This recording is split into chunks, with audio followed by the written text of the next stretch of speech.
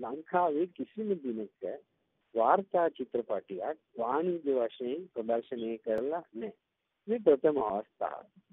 මේ වාරණ නියෝගයේ ඉන්න කලින් මේ ප්‍රදර්ශනයට සූදානම් වෙලා තිබුණු මොහොතේ මගේ විශාල බලාපොරොත්තුවක් තිබුණේ නැහැ සිනමා ශාලාවල. නමුත් අපි ඒ ප්‍රදර්ශනයට කළේ අපි ඒ එකක් යුතුයකමක් ඇටියට එකක් තමයි අපි විශ්වාස කරා මේ නව සම්ප්‍රදායක් වාර්තා චිත්‍රපටි අපි දන්නවා අද ලෝකෙ මයිකල් නෝගේ සිනමාකරුවන් ඉන්දියාවේ ආනන්ද පත්වර්ධන වගේ සිනමාකරුවන් ඔවුන්ගේ චිත්‍රපට වාණිජ්‍ය වශයෙන් ප්‍රදර්ශනය කරන තත්ත්වයට ගෙනල්ලා තියෙනවා. ඒ වගේම ඔවුන් කියන්නේ මොකද්ද කියලා ජනතාව ගැන ජනතාවට තුල කුතුහලයක් තියෙනවා. ඉතින් ඒක වගේම මෙන්න මේ කාරණේ අපි මේක මේ වෙලාවේ කිසියම් ආකාරයකට අපි ඒ අත්හදා බැලීමයි කරන්නේ. ඉතින් වාරණ නියෝගය නිසා මේ චිත්‍රපටය පිළිබඳ උනන්දුවක් නැත්නම් කුතුහලයක් ඇති වෙලා තියෙනවා ශ්‍රී ලාංකේය සමාජය තුළ.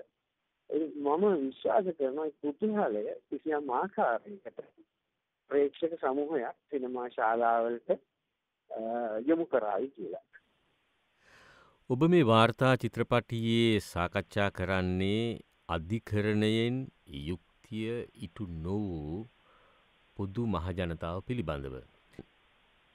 ඒ කියන්නේ තවමත් අධිකරණය පොදු මහජනතාවට යුක්තිය දීම වෙනුවෙන් ඉදිරිපත් වෙන්නේ නැහැ කියන එකද? ඔව් මම හිතන්නේ මේක මේක නිසා මම දකින්න දෙයක්. ඒක මේ මේ චිත්‍රපටි හදන්න මාව පත්ත කරපු තැනත් ඒක නේද? මතු කරන්නේ උත්සාහ කරපු කාරණේ.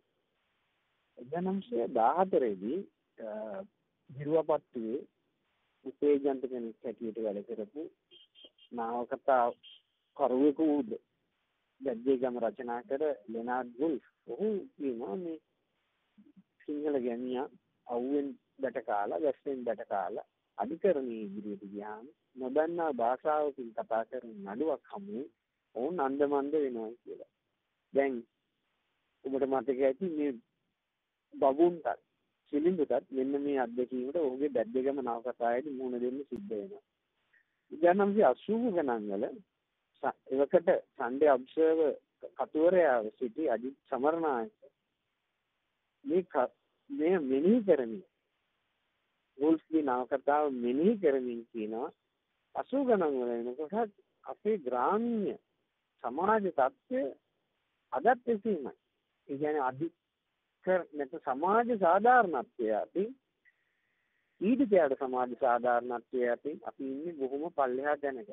දැන් මම 2014 15 වසරේදී මේ චිත්‍රපටිය රූපගත කිරීම සඳහා කුරුණෑගල දිස්ත්‍රික්කයේ කෙළවරට ගමන් කරන්න ගියාම මම දැක්කේ ඒ කරුණමයි.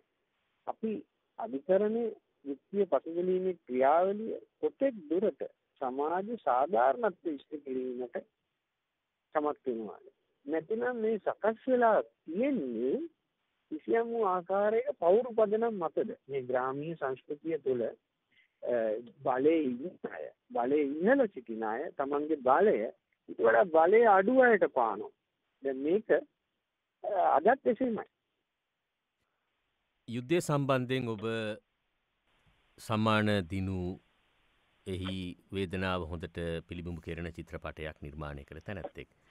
දැන් උතුරේ යුද්ධයෙන් පීඩා විඳි ජනතාව තමන්ට යුක්තිය ඉල්ලා සිටින අවස්ථාවක් සහ එයට ඇතැම් ප්‍රතිරෝධ දකුණෙන් ආණ්ඩුවෙන් සහ විපක්ෂයෙන් පැමිණෙන අවස්ථාවක්. එතකොට මෙවැනි අධිකරණ ක්‍රමයක් තුල ඔවුන්ට යුක්තිය ඉෂ්ට වේවිද?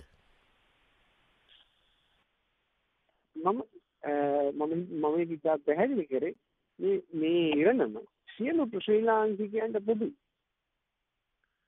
මේ නැතිනම් මේ අසමතුලිතතාව සියලු පීඩිතයන්ට පොදුයි. ඒ මේ චිත්‍රපටයෙන් මම මතු කරන්නේ කොතෙක් දුරට ඒ පීඩිතයන්ව මේ ක්‍රමය විසින්ම මිනිස් දූවිලි බවට පත් කරනවාද යන්න. මිනිස් දූවිලි ගැන සමාජයේ තැකීමක් නැහැ.